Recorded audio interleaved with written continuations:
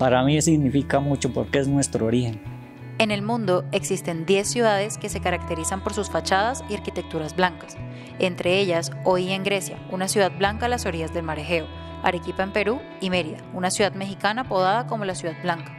Colombia no se queda atrás. En Popayán, Mompox, Villa de Leyva y Guatavita, el blanco sobresale entre sus habitantes. Pero, ¿por qué blanco? Este refleja una idea subjetiva de intenciones sobre el realce de una ciudad.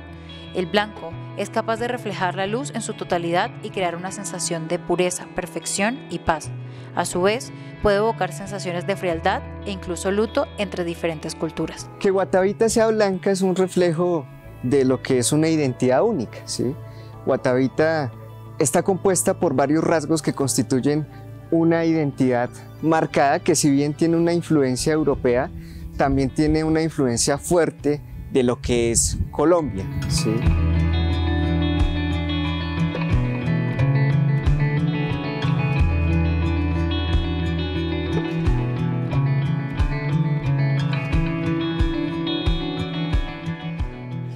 Cuando el, el arquitecto construyó el pueblo, fue una fusión de lo colonial que nosotros teníamos con lo que él trajo de Europa, más que todo de España y varias partes de, de, Europa. Cuando se comenzó la construcción, el Consejo Municipal eh, pidió que se conservara mucho de lo colonial que teníamos en el, en el antiguo pueblo. Realmente allá pues habían varias partes que la pintura era en blanco, en cal, y eran con balcones ventanales grandes, puertas en madera grandes eh, y el bareque y la teja de barro. La teja que eh, actualmente tenemos aquí en el nuevo pueblo es traída del antiguo pueblo. Y conservando, eh, por ejemplo, el empedrado, y pues allá también habían zócalos como los que vemos acá en piedra, habían zócalos pintados también simbología muisca, Incluso habían lavaderos también hechos en lajas, labrados también en piedra. Entonces se llama el camellón de los arcos, acá donde estamos, y aquí es la subida al Palacio Municipal. Entonces, e, esa es la razón de que Guatavita sea tan bonito y que todo tenga un mismo color, una misma fachada. Y la decoración que es en piedra, en, en baldosa y teja de barro. El pueblo de Guatavita fue fundado el 18 de marzo de 1593 por el conquistador Miguel de Ibarra. En 1960, los gobernadores iniciaron la obra para construir el embalse del Tominé, un embalse que mejoraría la potabilidad del agua en Bogotá.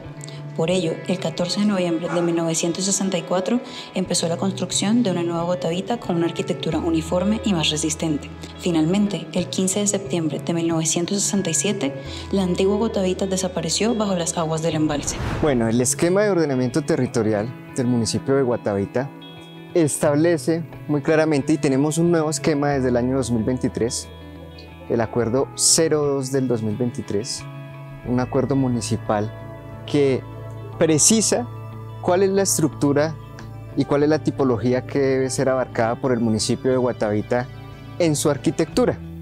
Guatavita debe resaltar por su arquitectura y las personas también deben resaltarlo porque pese a que a veces nosotros no vemos la diferencia porque todos los días estamos acostumbrados a ver lo mismo en el municipio, los turistas y las personas que lo visitan, ese es el mayor atractivo de Guatavita, ¿cierto?